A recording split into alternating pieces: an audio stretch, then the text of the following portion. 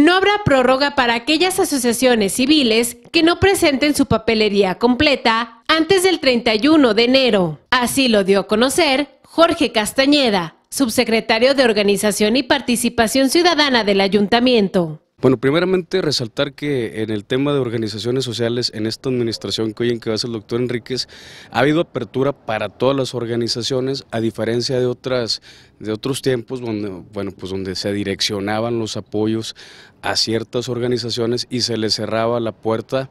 a lo que es la sociedad civil que tenía proyectos muy interesantes.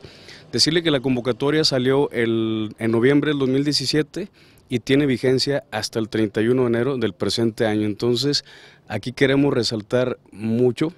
que no va a haber prórroga, que el plazo fatal es el 31 de enero a las 4 de la tarde y para mayor información eh, tendrían que pasar a la subsecretaría que depende de la Secretaría del Ayuntamiento, Subsecretaría de Organización y Participación Ciudadana, que está en Juárez 305, al área de gobernación para que les den los formatos, los requisitos y decirles también que organizaciones que recibieron recursos en 2017 y a la fecha hoy estén con adeudos, o sea, de informes o de, de cualquier otro tipo,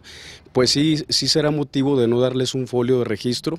porque no por capricho personal, sino que la nueva ley de disciplina financiera no nos permite eh, dar recursos a organizaciones que no hayan cumplido en transparencia. Menciona que son 35 asociaciones las que podrían quedar fuera del patrón 2018 por no comprobar o llevar al corriente los informes bimestrales. Además agregó que serán más de 400 mil pesos mensuales que se estarán repartiendo entre las organizaciones seleccionadas, la misma cantidad que en 2017. Son 115 organizaciones que hoy atiende el gobierno municipal, pero en ese, en ese sentido encontramos de 30 a 35 organizaciones, eh, se les ha estado hablando, se les ha estado resaltando que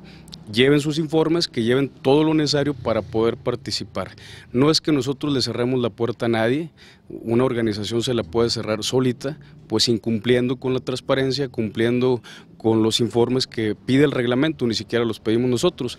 Mire, el recurso es 432 mil pesos mensuales, o sea, no se aumentó el recurso para organizaciones. Eh, el año, en el 2016 hubo 105,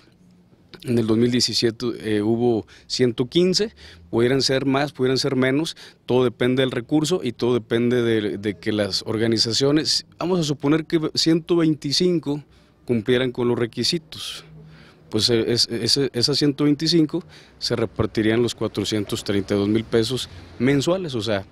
no, no habría más. Con imagen de Alejandro Silva, informó para Canal 12 Denis Villarreal.